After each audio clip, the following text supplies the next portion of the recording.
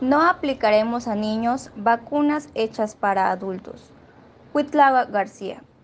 Sin una ficha técnica que lo indique, no aplicaremos vacunas contra COVID-19 hechas para adultos a niños, dijo el gobernador García Jiménez, al asegurar que alguien tiene que hacerse responsable si existe algún tipo de reacción adversa por aplicarla. El mandatario indicó que no se opone a emplear el fármaco a menores de edad, siempre y cuando se cuente con la aprobación de la Secretaría de Salud del Gobierno Federal y la Comisión Federal para la Protección contra Riesgos Sanitarios, la COFEPRIS. No solamente se trata de decirlo, sino de obtener la aprobación.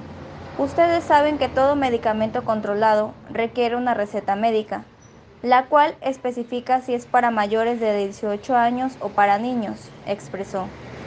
Continuó diciendo que no es el gobierno quien provee la vacuna, es la farmacéutica quien debe entregar la ficha técnica a la federación y ellos hacer lo propio, es decir, etiquetar las dosis con la indicación para emplearla en menores de edad. Informó para Radio Bemba Veracruz, Liana Zamudio.